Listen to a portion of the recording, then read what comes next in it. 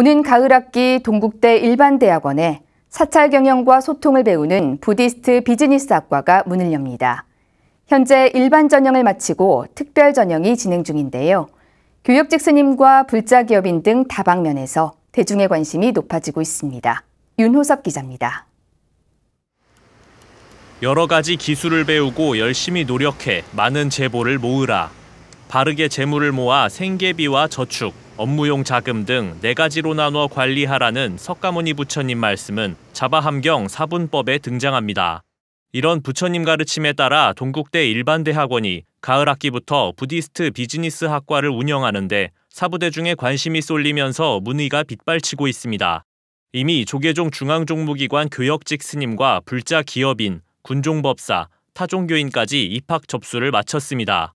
단순한 사찰 관리를 넘어 경영의 영역이 접목돼야 한다는 대중의 갈증을 해소하는 계기로 주목받기 때문입니다. 일반 기업체에서 볼 때는 이윤 중심의 경영을 하기 때문에 아, 인간이 소외되는 그런 문제들이 발생하고 있습니다. 그래서 불교 사상을 바탕으로 인간을 중심에 두는 그러한 경영을 아, 사회에서 실천하고자 아, 만들어진 학과입니다. Buddhist business 학과는 인간 불교 사상과 경영학의 조직, 재무, 인사관리 능력, 미디어 커뮤니케이션학의 화쟁적 소통을 교과 과정에 담았습니다. 필요성은 꾸준히 제기됐지만 해당 전공이 없어 어려움을 겪었던 종단 소임자와 불자 기업인들은 Buddhist business 학과 개설을 반겼습니다.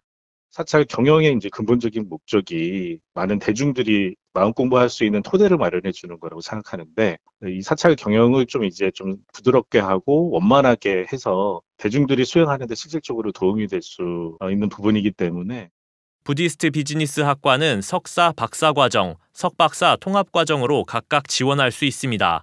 현대 사찰 경영과 종무 행정, 경영 관리, 고용 관계와 리더십 등 불교와 인접 학문이 융합돼 불교뿐만 아니라 일반 사회에도 기여할 수 있다는 점이 특징입니다. 불교학과와 경영학과, 그다음에 신문 방송학을 배움으로 해서 바로 사회에서 아, 활동할 수 있는 불교 지도자, 즉 불교 사상을 가지고 사회를 이끌어가는 그런 인력을 양성하는 그런 교육기관이 될 것입니다. 부디스트 비즈니스 학과는 일반 전형에 이어 오는 14일까지 특별 전형을 통한 입학생을 모집하며 가을 학기 본격적인 강의를 시작할 예정입니다.